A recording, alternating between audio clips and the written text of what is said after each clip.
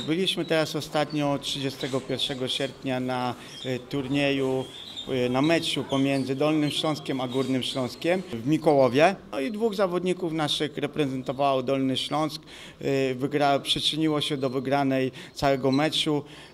E, Dolny Śląsk był górą, wygraliśmy 14 do 2 u gospodarzy. Z tego naszych dwóch zawodników dodało 4 punkty do ogólnego zwycięstwa. Tomek Krzemiński w kategorii 40 kg młodzik i Filip Szwaja w kategorii 46 też młodzik. Tomek praktycznie od samego początku narzucił swoje tempo boksowania. W drugiej rundzie miał przeciwnika liczonego, także wszystkie trzy rundy wygrane. Bardzo fajnie nacisnął też w tej drugiej rundzie. W trzeciej kazałem mu troszeczkę krócej, y, troszeczkę luźniej boksować, żeby on jednak te rundy zdobywał, nie robił tych walk przed czasem. Czułem się bardzo przygotowany. Przez wakacje byliśmy na obozie. Y, Tam codziennie biegaliśmy, też na miejscu codziennie trenowałem, od poniedziałku do niedzieli. A więc czułem się bardzo przygotowany. A opowiedz mi o swojej walce, jaka ona była, e, jak sobie podczas niej radziłeś? Y, Trochę tak na, na nieznane, moja pierwsza walka y, w tej kategorii wagowej. Y, Pierwsza runda, moim zdaniem y, poszła bardzo dobrze, wygrana, narzuciłem swoje tempo. Przeciwnik boksował tak jak ja chciałem.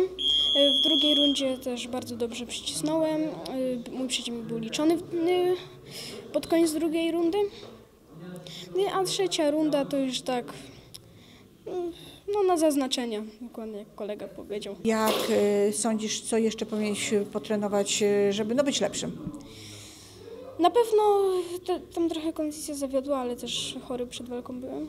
Na pewno czucie bardziej dystansu, bo nieraz wpadałem y, w przeciwnika w tej walce i to już było półdystansowe, choć nie powinien, bo przeciwnik był niższy. A tak ogólnie to chyba, chyba wszystko jest jak na razie ok, ale oczywiście, że, będę, że mogę jeszcze się poprawić. Filip Szwaja boksował z brązowym medalistą e, Mistrzostw Polski, to już tam e, któryś z kolei było ich, kom- e, była ich konfrontacja. No i kolejny raz e, Filip też wygrał. Wszystkie trzy rundy zdecydowane, kontrola całej walki, umiał się pod niego ustawić, wydłużyć ciosy, także wszystko jak najbardziej na dobrej drodze jest. Wydaje mi się, że byłem bardzo dobrze na przygotowany, ponieważ y, sędzia, który mi ustalał walkę, był, pomylił się z powodu tego, że wsadził mnie w kadetów i walczyłem troszeczkę dłużej niż powinienem. I widać było, że no, wygrałem i w sumie nie zmęczyłem się jakoś bardziej niż zwykle. Pierwszą rundę zdecydowanie wygrałem z powodu szybkiego przyciśnięcia przeciwnika.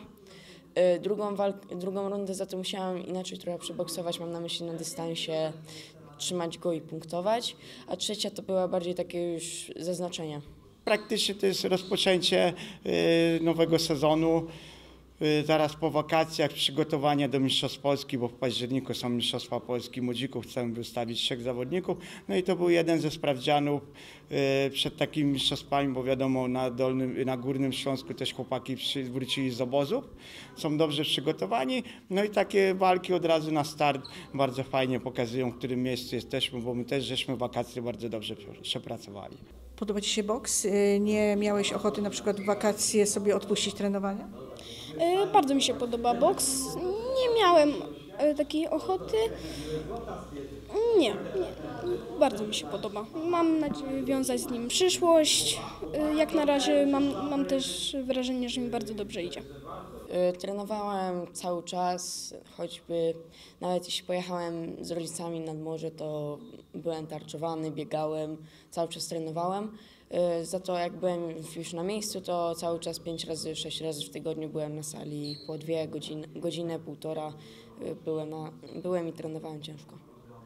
No właśnie, e, trenowanie to, to ciężki kawałek chleba, ale jednak nie odpuszczasz. Chcesz cały czas w tym boksie istnieć? Y, Tak, chciałbym z nim wiązać przyszłość i no i tyle.